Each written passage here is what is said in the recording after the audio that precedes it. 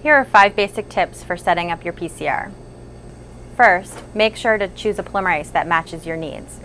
If you are unsure which polymerase will meet your specific needs, please consult the DNA polymerase selection chart at confidentpcr.com. Second, take time to design your primers carefully. This will help reduce the amount of time you spend troubleshooting. Primers should typically be between 20 and 30 nucleotides in length and between 40 to 60% GC content.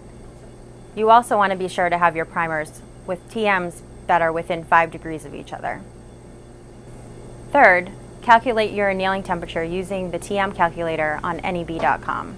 Not all enzymes are alike, and buffer components can play a critical role in determining the annealing temperature. If you're switching to a new enzyme, you should always recalculate the annealing temperature, even if you've used these primers with another enzyme in the past.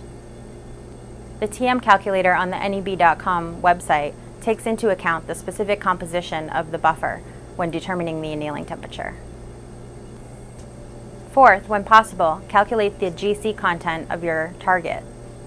For GC-rich amplicons, use a polymerase specifically designed for GC-rich PCR, like OneTaq or Q5 DNA polymerases. If high GC additives are included with the polymerase, please follow our usage recommendations for the best results. Fifth, set up reactions on ice using chilled components and add the reactions to a thermocycler that's been preheated to your denaturation temperature. Alternatively, try a hot start enzyme such as our Q5 or OneTaq hot start DNA polymerases for a convenient room temperature setup and the additional benefit of increased specificity.